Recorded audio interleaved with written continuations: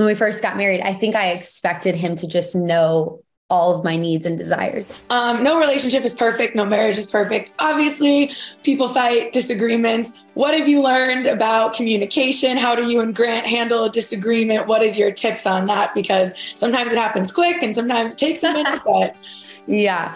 Sarah, you know, he would love to be here for this interview to answer that question for you because I'm sure he'd have a lot to say. We have learned a lot. Um, I do think, you know, there is a big adjustment when, you know, you have you've never been married, you've never lived with someone before. You there's so much there's so much new. And so, you know, we moved in uh, after we got married into our home and and you know you're having home problems and you're having, you know, just life things going on. And you're now learning how to respond to those things and handle those things with another person. Um, and I think that's something that's so interesting about relationships is that a lot of it is not even like about you. There's so much that goes on around you and that happens to you that you don't even have control over. And you're learning how to respond and how to handle it with grace.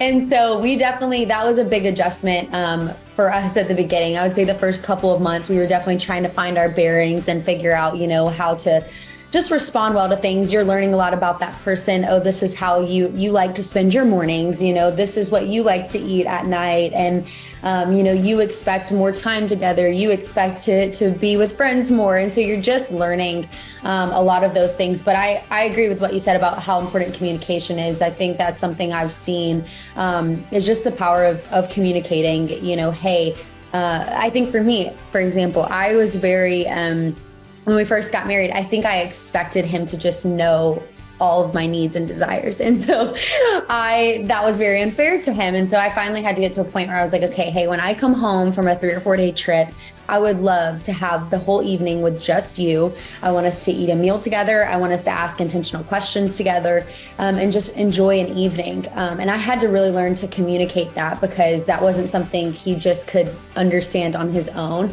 So we've learned definitely um, through uh, just the importance of communication through trial and error, like the moments where we've done just such a bad job of it and the moments we've crushed it. Um, and I think just having grace for each other and patience for each other is so important. And that was something that, again, I had to learn very early on is, um, hey, like, don't take life so seriously. Like he's, he's not God, so he's going to fail me and he's going to let me down. And I'm not going to meet his every need all the time. And he's not going to meet my every need all the time. And that's why my hope is not in him. And I think that's really, really important as a believer is to make sure that you're seeking that relationship with God. And if you're trying to find, um, you know, all of your hope, all of your worth, all of your value, all of your purpose, everything in a person and in a relationship, uh, with another human, it's going to continue to let you down. And so for me, it's been so important in the mornings. Like I wake up, I go have my time with with God, and I get in my I have a prayer closet, and I get in my prayer closet and I pray, and um, and I just spend time, you know, reading the Bible and just like filling myself up and reminding myself of what's most important.